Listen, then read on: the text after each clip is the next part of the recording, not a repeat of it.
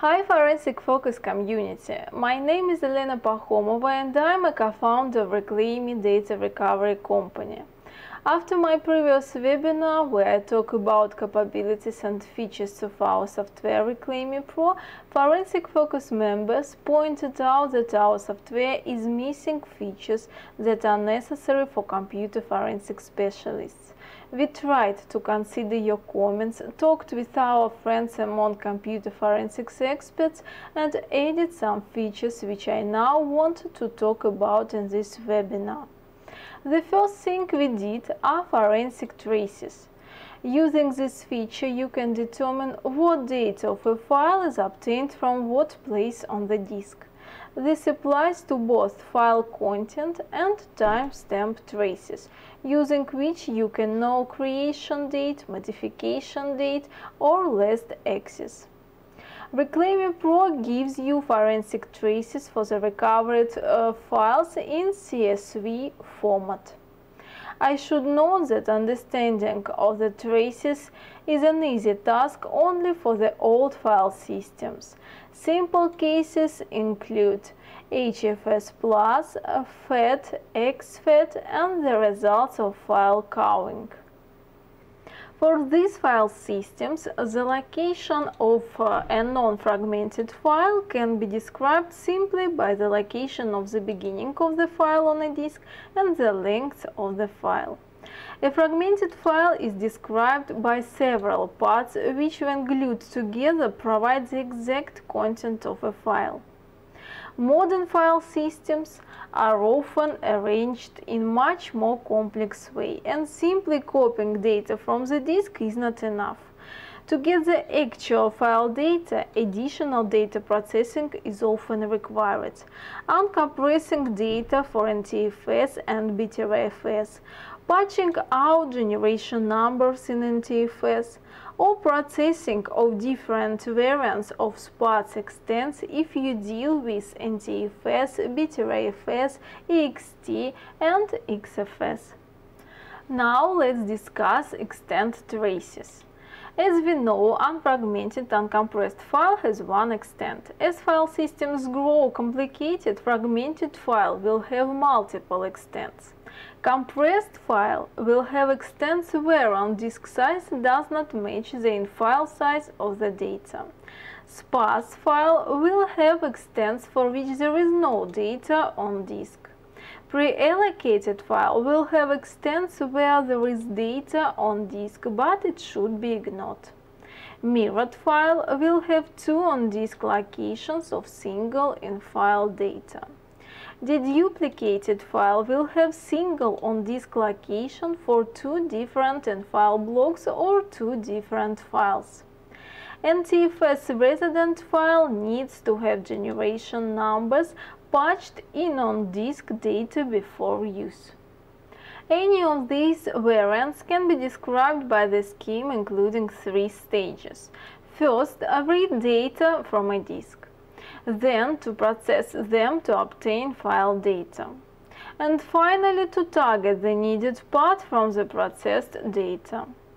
As usual, data on the disk is defined by the start address and the size. The size can be zero in case of sparse extent, which has no data on a disk.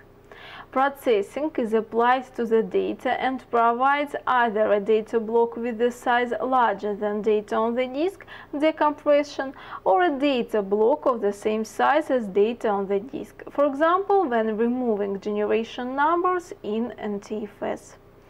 Theoretically, the size of the uncompressed data can be less than the compressed block, but in practice we have not seen this yet. Once data is processed, the needed part of the processed data is accessed.